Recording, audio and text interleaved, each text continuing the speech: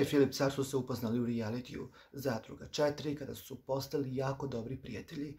Filip Car je imao priliku da gleda sve skandale koje je Maja pravila sa Janjušem i Janjuš koje je pravio sa Majom i mogao je iz prve ruke da zna da kod Maje ne prolaze neke sitne priče ispod ruke i da jednostavno Maja zna da kaže i zna da se bori za sebe i to za svaku moguću pohvalu. Nekada pretjera, zna da pretjera, ali treba se čovjek boriti za ono što vjeruje. Maja Marinković i Filip Car kažu neki da su u emotivnoj vezi, međutim Maja je to oštro demantovala kada je rekla da su njih dvoje samo prijatelji, a situacija iz Beča govori suprotno.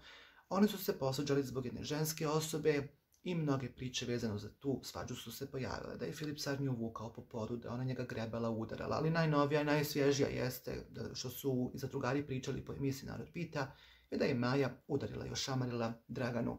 Ovoga puta Dragana se kratko oglasila. Stvarno ne želim da više pričam na tu temu, razočarana sam, nisam to zaslužila od nje, rekla je kratko Dragana.